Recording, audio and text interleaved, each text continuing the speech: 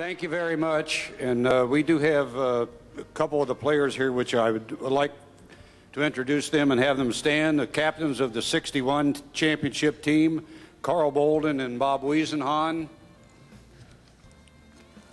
Tony, uh, Tony Yates, the captain of the 61-62 team. Paul Hogue, center on the 61-62 team.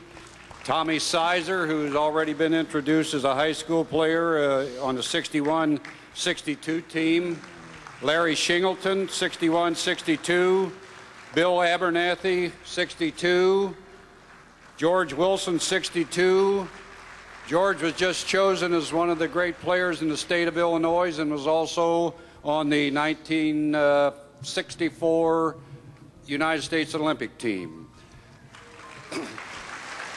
I'd like to say this.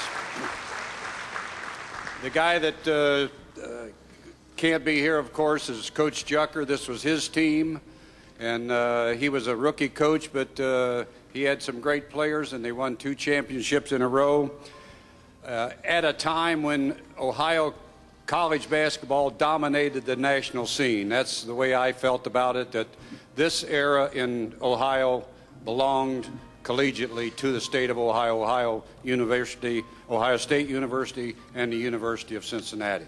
Thank the committee very much.